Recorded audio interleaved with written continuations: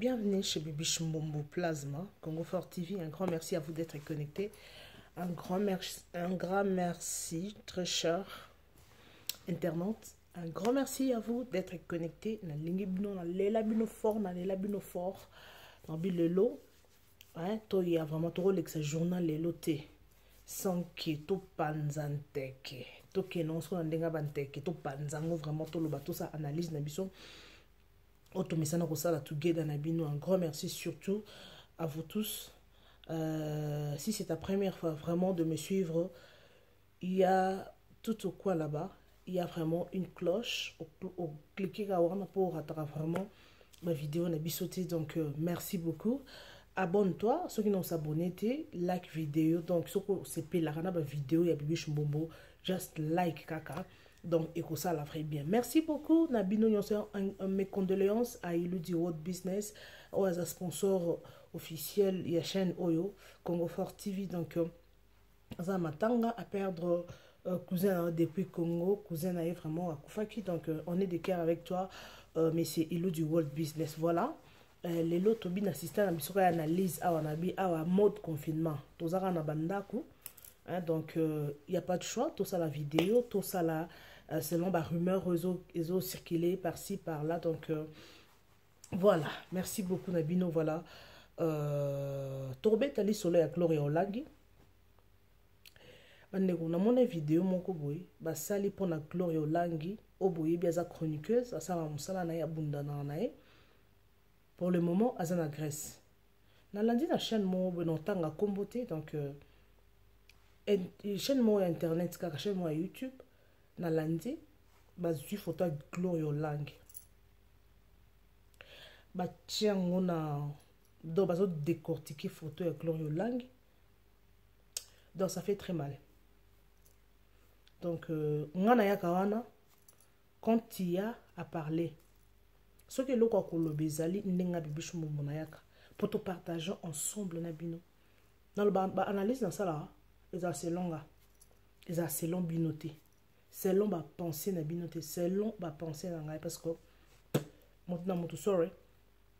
moto na moto chacun a sa manière de, de, de voir le chose nalobi ngai napesaka bino respect parce que nayebi ke boza bapapa bamama botelemaka bolandaka boza baresponsable boza bakoo bokofanda mpe na salon bolanda ngai biche mbongo na bandako na bino donc euh, toza mode confinement moya tosalela caméra trop te yango tokendaka na système ya téléphone voilà so naleka awa ce n'est pas dire que naleka bino na mayele non bino boleki nga nga mpe naleki quelque personne mais eza kaka tosala concours ya mayele te eza kaka tosala analyse toyebaka mamonde ezokende gloria olangi boyebi aza chroniqueuse oyo amarke époque na ye abundi abundi abundi abundi abundi abundi malgré barancune babeta barancune bakarine mokonzi bafifi siwa etu etu baza bato bamarke époque na bango bato bayeba baza bavedete na coin na bango bato bayeba bango esali que gloria olangi pardon abotaki abotaki mwana mwana akufaki tomonaki niveau na internet congolais niveau aza motema mabe congolais azelaka soki moto aza na malheur akocompatire na ye te na malheur wana eza mpo abakisa esu mpasi likola mpasi tomonaki bavideo esekelaki ke eza zemi alukuta eske azalaki na zemi zemi yango kuna ezalaki ya solo azokosa na ye eza makambo ya lokuta tomonaki ntina papa ya, ya mwana abimaki wana kenga mobali ya gloria olangi donc nafandelaka kaka basujet ya bato te parce qu'il y a d'autres gens batyaka bakoma o oh, te yo ndenge oza nozanga eloko ya osala bandolobelaka basujet bato non soki nabeti lisolo oyo eza na faire voir bato ezala na mwa conseil mo na kati donc nalekaka te kaka nalobelaka karine okonzi nalobela non non non non non nalobelaka bango par rapport donc eza lokola obeta lisolo opesi na exemple mpo bato bacomprendre sujet ya kimotema mabe ndenge ezala par exemple na niveau ya gloria olangi oyo na lisolo oyo nazolobela bino lelo donc ça fait très mal komona congolais niveau aza moto ya mabe eyosalaki ake poto etu na ministre aza na grèce ce qui est vrai aza na grèce bandeko bokutunanga nini na grèce oyo akei c'est bien bon toyebi ke grèce nzela ezali eza yango déjà europe je ne sais pas si je me trompe mpo bato mosusu baza mpe bavivaka na bango mai bato mingi balingaka bakota france bakota londres mingi bato bakotaka france nde mposa gloire yolange si je me trompe pas mposa na ezaki no akota poto mais namoni na chaîne wana nayebi nkombo ya garçon yango mpe te mai natali kaka ndenge ezalaka tozo ozoglise ozo kaka namoni na, na video moko boya tie foto ya gloria olangi nayebi te bakangaki ye j'espère que bakangaki foto wana azalaki inconsciente atie écouteur na matoi alati bodi alati slim moko ya, ya, ya, ya bleu na lipapa na makolo atie kutela na mato ya telemi eza na foto mosusu batie afandi kota mabanga ondire na ndako esila te soki falo voir nde bazofinga mwana mwasi wana journaliste wana aleki omoni likolo ya kofinga karine mokonzi omoni ndongo osuki monoko ozotyaka monoko ya pamba omoni place osuki tala place osuki kaka monoko naza na babijou naza na mbongo naza na boye naza na mboye tala osuki awa boluka monoko eleka bino na vitala place otelengani ozangi ata na mbongo futa banda kofinga c'est bien bon nga na boyi te baza na bapolémique na bango parce que gloria mpe aa mosantu te aza mpe na bato ablesa aza mpe na bato afinga aza monoko na ndenge nde aza rancunière na ndenge na ye toboyi na biso te mais dosala yanga mpasi parce que euh, pour tokende de part et d'autre gloria olangi c'est une courageuse mpo na internet eza monene eza na bato mpe babanda batelevizio liboso ya fille wana ba 20 ans ba 15 ans mais na sir tasala ba 15 ans ata ba 10 ans nono amarke époque na ye mais lelo abundi na makasi na ye de loa na grèce donc elle est déjà euh, félicité ndenge mpe tozomona karine mokonzi elle a félicité c'est une fille à félicité lelo aza azo, azo évolue na ndenge na ye mais oui tofélicité mais komona la façon dont babandaki kofinga mwana mwasi wana toboyi te aza na mabe ngai na bia mosantu te mais ça m'a fait très mal moi personnellement esalai nga mpasi namoni tala ndenge place osuki bandeko bino bato bolandanga boa na poto boa na mboka mopaya donc mboka mopaya c'est pas facile hein? mboka mopaya c'est pas facile oyo alobaki no aya poto lelo azwa vi lelo asomba lopango lelo oyo dans une semaine oyo dans un mois te nayebi te hein? amoki oza deja oyaka poto na bambongo na yo obi oyaka mpe étranger mpe étranger eza mpasi comment est ce que toboyi na biso te parce que eh, nalandi na, na video wana alobi que non ndenge eza boye bachinois bazalaka partout donc bafane oyo ya karine mokonzi baza partout partout soki moto aotumbola ye bakozwa ye video toboyi na biso te eza nango bapolémique eza nango baguerre mais la façon dont ah, bon mpo na nga na trouvaki yango bien te nayebi te soki bozolanda en tout cas soki bozo aime ma mot nazo loba ba vidéo na nga en tout cas ko bima te ko ko ko se déconnecter te sans que au like vidéo au partager ou bien au s'abonner dans la façon dont asalaki je n'avais pas aimé parce que omoni na mboka mopaya bandeko na nga toa na mboka mopaya mboka eza ya biso te mpo lelo bakobengana yo oke boye ozongi congo okowuta mpe congo koya kosintegre na mboka moko quelconque ce n'est pas facile hein? ce n'est pas facile bino bato boza libanda ya mboka bozo comprendre makambo ngai nazoloba ce n'est pas facile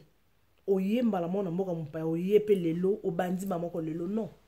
à moins que ezala par miracle oye après un mois ozwi ndako ozwi motuka osomi lupangu non mwana mwasi wana aluka vie na ye c'est normal elle cherche sa vie ata aza na mboka azokemba c'est normal parce que eza na bato mosusu mpe na bamboka mopaya mpe baya mpe basala mpe ba 20 ans bazwaka mpe te bamosusu mpe baya bafongwama mba moko bazwa misala je efongwama mais ye aza nao na grèce wana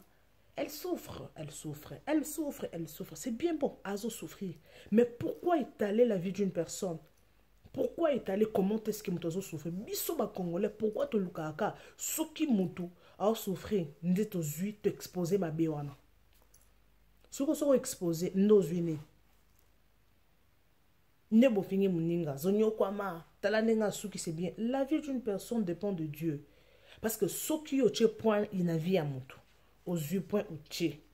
kitala ndenge omoni ndenge osuki non non non non non moto asuka te nzambe nde moto ayebi ke oyo asuki obi oyo asuki te aza mosantu te aza sainte te aza na mabe nde asalaka mais moi personnellement esala nga esalaki nga bien te parce que soki nazala na foto wana nalingaki en tout cas na balance bino natia foto wana comme ça bino mo bomona foto wana donc ezalaki c'est pas beau à voir donc ezalaki nango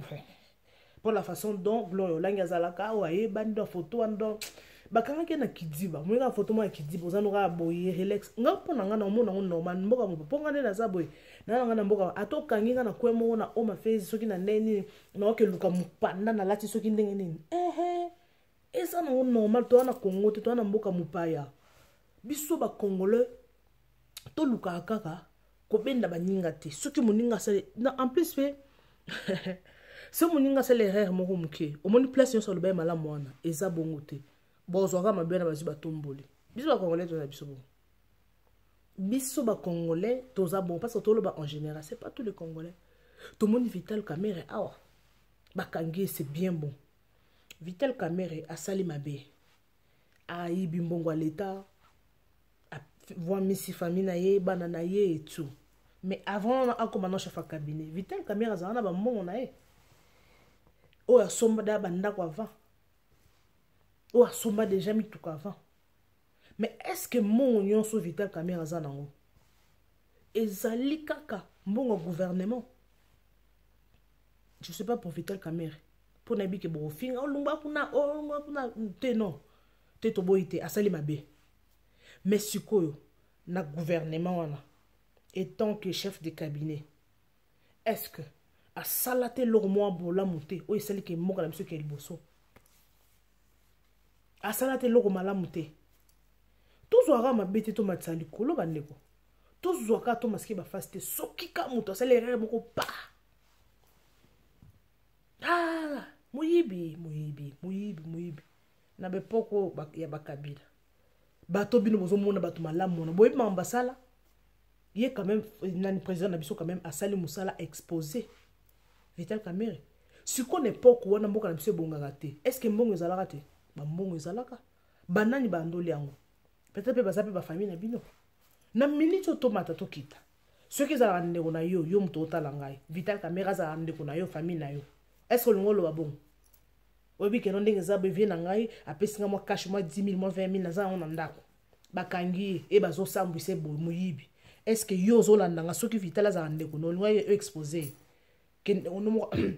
bo excuse nga ndeko no moko asunga ko apesa ko bambongo etu olingi oexpose ye atokanisaka ata bolamu en tout cas tokanisaka ata bolamu uh, donc euh, na bino bavideo nango nalobaka trop te nalobaka moke oyo etikali bino moko bozwa yango bosakana nango bodevelope yango donc euh, c'est ça un grand merci na bino nalingi bino mingi en tout cas vraiment na chaîne wana nalandaki vidéo ya gloriola et photo ya gloriolangi en tout cas naomeka un peu kofouye je ferai une vidéo par rapport à ça j'ai eu trop mal et tant qu'une femme un être humain esali nga mpasi moninga akei ata ake na nzela mako barafine tumba oyo bakendaki na nzela ya ba, ya ba, ya ba, ya ba uh, je sais pas akenda nzela nini Ma, nzela maroc soki nzela maroc soki turquie akendaki na bato na bana nde mibale lelo aza na poto ata bato baseka ke nzela katikati me bazali bakarine mokonzo bakenda banzela katikati me bazali